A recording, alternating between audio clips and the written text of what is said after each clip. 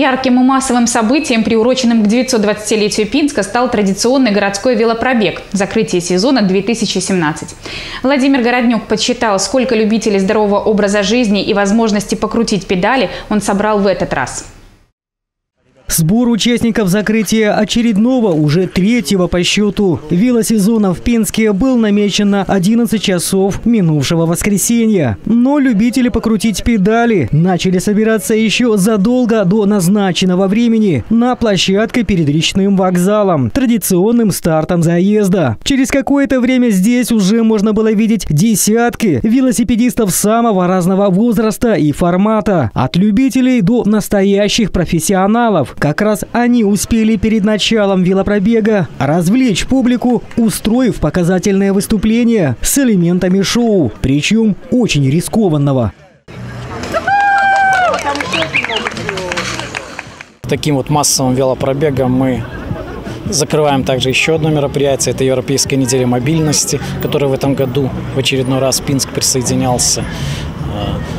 В этом году мы насытили программу несколько, несколькими культурно-развлекательными мероприятиями. Здесь у нас работает горячее питание, э, напитки, Условия участия в Пинском велопробеге не изменились. Это наличие велосипеда любой марки и модели, исключение разве что детские, трехколесные, и желание прокатиться по улицам родного города. Но главное, таким образом можно продемонстрировать свою любовь к двухколесному транспорту, который, согласно историческим данным, вот уже около двух сотен лет как был изобретен и служит человеку. В семье Каравайчик велосипедом увлекаются гораздо меньше лет, но однозначно с пользой, как, впрочем, и остальные участники велопробега. Любим велосипеды, катаемся всей семьей. И вообще прогулки по выходным в лес на велосипедах. Мне велосипед купил папа, и катаемся, я очень часто катаюсь, я, мне нравится кататься. Катаемся в лесу, на улице. Ты тоже умеешь кататься? Да. Это здоровый образ жизни, это активность, это хорошо. Катаюсь давно, лет семь не меньше. Везде люблю кататься. Могу по городу выехать, так и без остановок практически. Ну, за, за неучетом светофоров часа так 3-4 колесить. Велосипед у меня появился два года назад. Очень люблю заниматься кататься на велосипеде, за здоровый образ жизни. Участвовала в весеннем велосипедном э, пробеге, сейчас в осеннем на закрытии сезона. Ну, думаю, не последний. Очень радует тот факт, что большое количество народа сейчас присутствует. А еще у некоторых велосипедистов с появлением двухколесного друга жизнь поменялась в корне. На 30 килограмм похудал за два года. Здоровее стал. Вот буквально месяца четыре только как с армии пришел. Тогда еле ноги волок, сразу на велик сел. Сейчас уже и бегаю неплохо.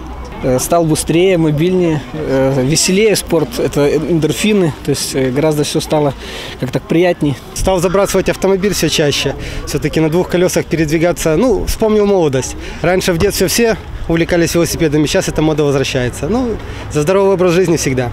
И вот он, почти гагаринский старт.